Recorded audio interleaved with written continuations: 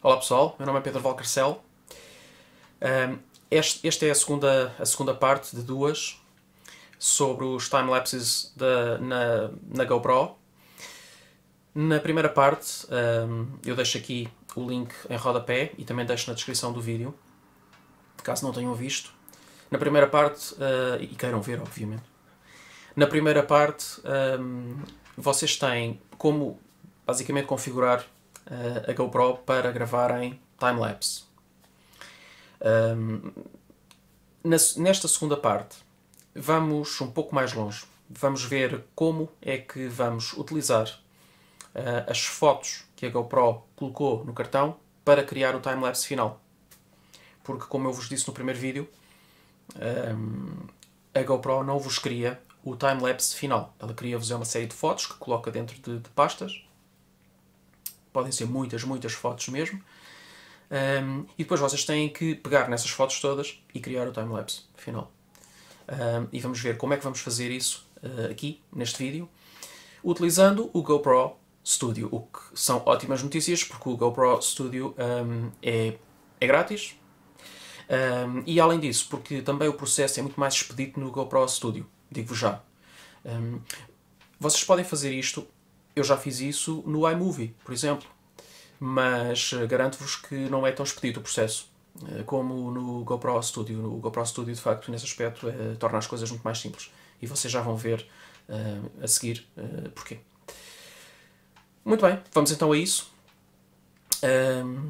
espero que, que vos possa ser útil.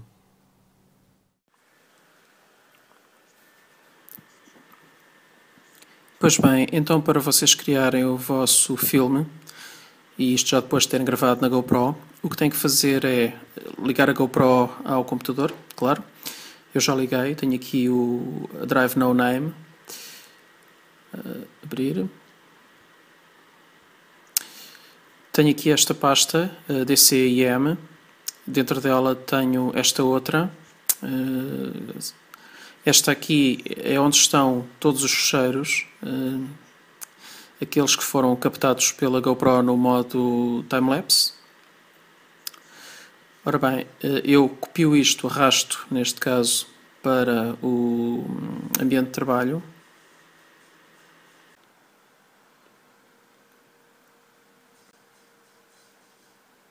Pronto. Agora, isto já não é necessário. Posso ejetar até. Ok. Então, em seguida, vou aqui ao GoPro Studio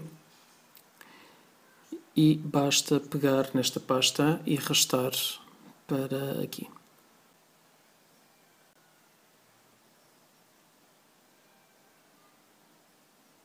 Ok. Já tenho aqui assim os vários uh, imagens. Portanto, isto está, digamos, sob a forma de um, aparentemente, de um filme, não é? E agora o que há a fazer é, portanto, eu vou selecionar, vou Advanced Settings, deixo tudo como está, no caso da Image Size, no caso do Frame Rate, fica tudo em Source, e depois na qualidade coloco em High, ok? Em seguida vou adicionar então o filme à conversion list.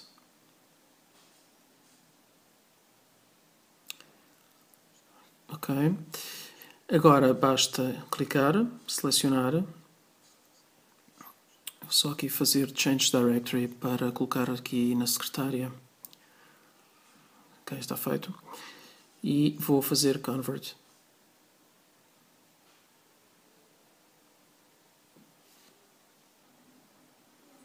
Muito bem, ele completou. Agora venho aqui ao Edit. Eh, não seria necessário fazer isto, mas já agora, para vocês verem, vou ao Blank Template, Create.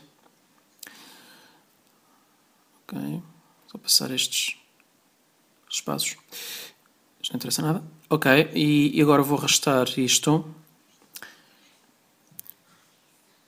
Portanto, este foi aquele que foi ainda agora criado e vou colocá-lo na timeline.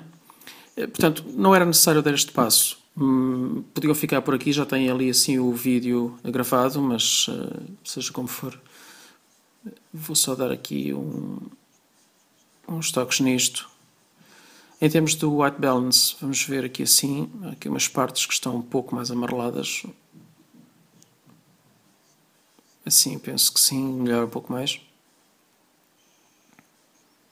Aqui mais no exterior, caso de contraste, ok, um pouquinho mais, ligeiramente. Eu, eu, sinceramente não, neste, não gosto muito de puxar eh, saturações e contrastes e tudo mais, mas enfim, por vezes eh, dá algum jeito. Eh, neste caso, até nota-se por acaso, nota-se aqui os, os, faróis, se calhar já ficam demasiado vermelhos. Ok, talvez não. Uh, ok, mas que assim está bom. Bom, mas eu dizia, de facto, não gosto de puxar muito as, as, cores e os contrastes, mas enfim, é mais para avivar um pouco mais, uh, sobretudo quando o tempo está um pouco enovoado e tal, não, não, há muito sol e as coisas acabam por ficar um pouco mais esbatidas, as cores. E nesses casos pode dar jeito, de facto. Muito bem, aqui na exposição julgo que está, está ok assim. Aqui noutros frames, só para ver como é que está. Parece estar um pouco escuro. Só um pouco menos de contraste. Ok.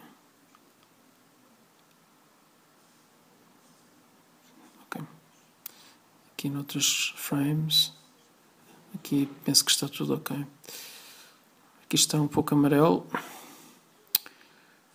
Uh, enfim, eu posso tentar aqui, uh, embora, embora de facto mexer no balanço de brancos e sobretudo aqui, eh, porque isto é uma, uma imagem interior, uh, eu aqui tenho um problema, é que eu, eu posso dar aqui um, posso tentar ver o que é que consigo fazer, mas eu também não posso puxar muito mais porque senão o que vai acontecer é que tenho um problema com as filmagens no exterior e as cores ficam adulteradas. Não... É, é complicado. Penso que tem, tem que haver aqui um compromisso. Não... Enfim, esta parte tem que ser sacrificada e depois fica um pouco melhor. Cá fora parece estar tudo ok. Enfim, bom, vamos então ficar assim. Está muito bem assim também para exemplificar basta. E, e, agora a seguir, eh, estou satisfeito com isto, quero definitivamente gravá-lo. Uh, vou gravar na secretária, vou aqui assim e seleciono os 1080p uh, e a seguir dou-lhe um, o nome Timelapse. Vamos a isso.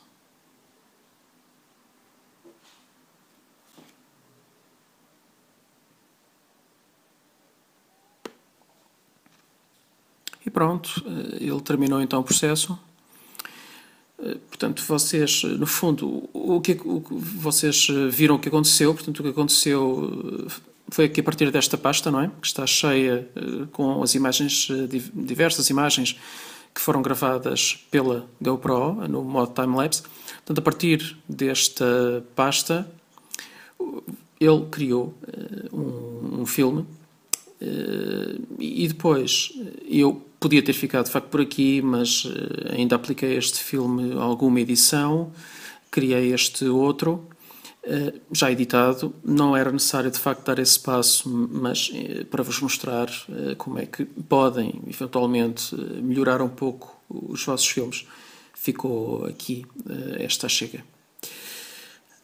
Já a seguir, vou-vos então deixar com este filme, com este filme editado, para verem como é que ficou. Despeço-me deste, desde já. Agradeço-vos por terem assistido ao vídeo e vemo-nos no próximo.